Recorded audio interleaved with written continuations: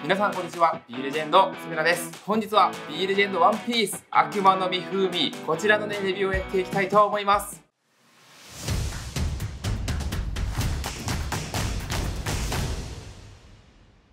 こちらのね、ワンピース悪魔の実風味なんですけれども、以前は 420g のね、ちょっとね、少量サイズで展開させていただいておりまして、まあ、非常にね、大好評でいただいておりまして、大きいの出してほしいっていう声をね、非常にね、たくさんいただきましたので、満を持して 1kg パッケージになって復活となります。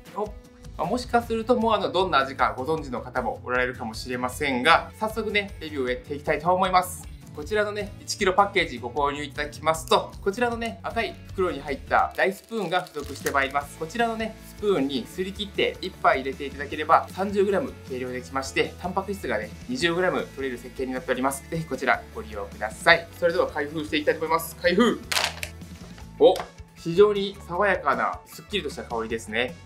パウダーは通常のねホエイパウダーと変わらない綺麗な白い色になっております。で、こちらの召し上がり方なんですけれども、1食につき、こちらの大スプーンですね、すり切り1杯、目安に、シェイカーの方にね、150ml から 300ml の水入れてくださいっていう形で書いております。本日 200ml の水を入れてきております。ま味がね、濃いのがね、好きな方はね、水の量を減らして、薄く飲みたいなっていう方は水の量を増やしてあげることで、味の濃さ調整できますんでね、参考にしてみてください。それではパウダー入れていきましょう。すり切って1杯。うん、いよいしょ。でシェーカーを反対に回します。カチッと言ってからしっかりと締めてあげます。さあ。ローリング。シェイク。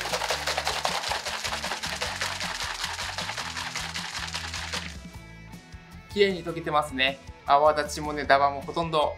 見られません。色はね悪魔の実と同じ色になってますね。悪魔の実はワンピースの中では非常にまずいって言われておりますが一体どうなんでしょうか？早速飲んでいきたいと思います。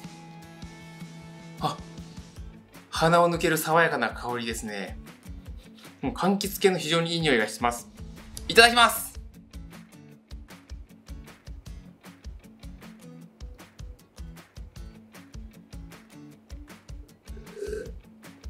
うまい爽やかっすね完全にスッキリ系ですね。ワンピースね、悪魔の実の風味。こんなね、紫のね、色をしておりましたが、悪魔の実風味はカシスオレンジ風味となっております。もう非常にね、爽やかでね、飲みやすいフレーバーですね。本当にベリー、ベリー、ベリーであったり、パッションフルーツ系の、本当にね、酸味系、さっぱり系のね、フレーバーに分類されるかと思います。非常にさっぱり飲みやすい。それではこちらワンピース悪魔の実風味の味をね、星5段階で評価していきたいと思います。甘みに関しましては星2つとなります。そこまでね甘すぎもせず本当にちょうどいい甘さのね味付けになっていたかと思います。酸味に関しまして星4となります。カシスオレンジのねこうさっぱりとした感じがね見事に表現できていたかと思います。すっきりが星5となります。マックスですね。本当にね、飲んだ後もね、こう爽やかなね、すっきりとした後味になっておりました。本当にね、プロテインとは思えないぐらいカシスオレンジになってたかと思います。クリーミーに関しましては、ほとんど感じませんでしたので、星0と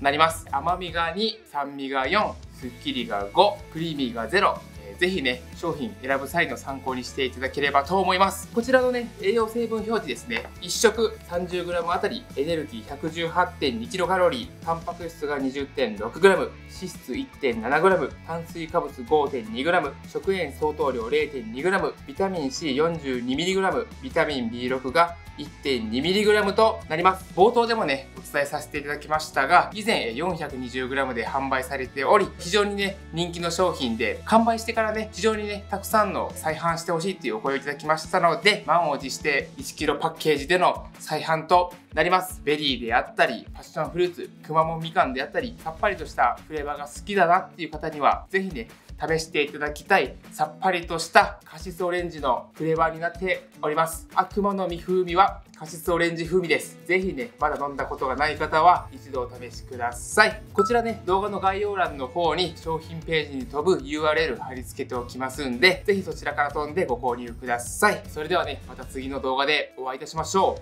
う。さよなら。